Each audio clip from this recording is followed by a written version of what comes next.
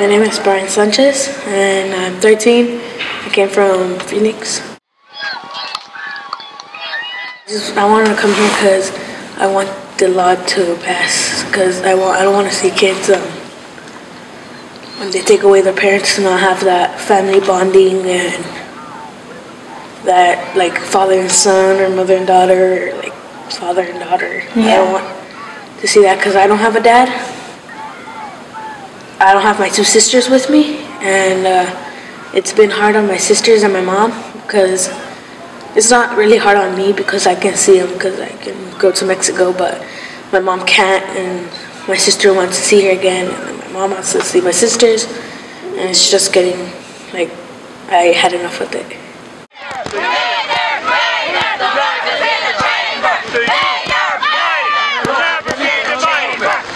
I'm participating because I don't want to see other kids like me suffer that they don't have a dad that they can't bond with and have one parent.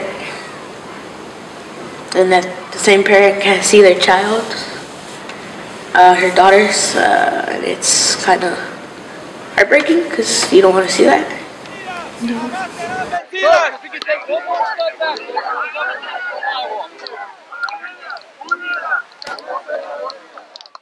I'm not nervous. I'm actually quite excited because this is my first experience actually doing something. I feel like this is the big thing that we're gonna do, and it's really gonna change our state because we're actually blocking off the road and getting arrested and showing them we'll do anything for what we want.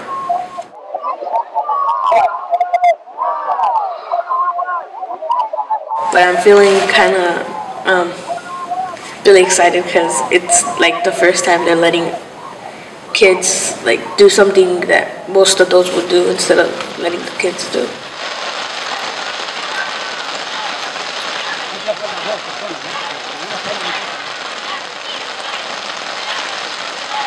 You would do anything for your family. You would do what we're doing right now, and you would try to fulfill and succeed on what you dream. And I only have one question for you.